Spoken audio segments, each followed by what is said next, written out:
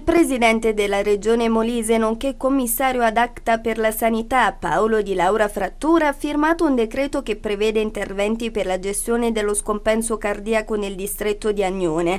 Si interverrà dunque con operazioni di assistenza domiciliare alla base anche del progetto di prevenzione promosso dalla Fondazione Giovanni Paolo II e dall'ASREM.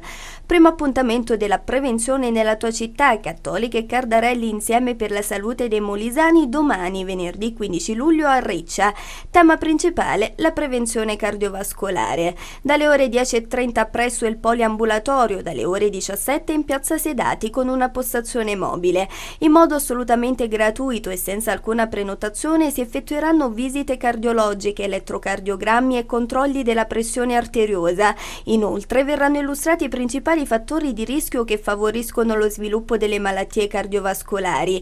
Questo primo appuntamento rientra nei festeggiamenti della Madonna del Carmine ed è organizzato in collaborazione con il Comune di Riccia, la parrocchia di Santa Maria Assunta e il Comitato Festa, con il supporto di diverse organizzazioni di volontariato. Il tema forse è stato scelto perché le malattie cardiovascolari rappresentano la prima causa di morte nei paesi occidentali. In Italia 240.000 persone, di cui 110.000 circa sono uomini e 130.000 donne, muoiono ogni anno per malattie dell'apparato cardiocircolatorio. In particolare l'infarto infarto miocardico presenta una prevalenza maggiore nel sesso maschile, mentre le malattie cerebrovascolari colpiscono con maggiore frequenza le donne.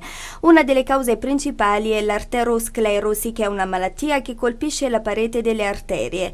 Un supporto dunque diretto e capillare fondamentale per diffondere messaggi di cura e prevenzione accessibili a tutti nel territorio.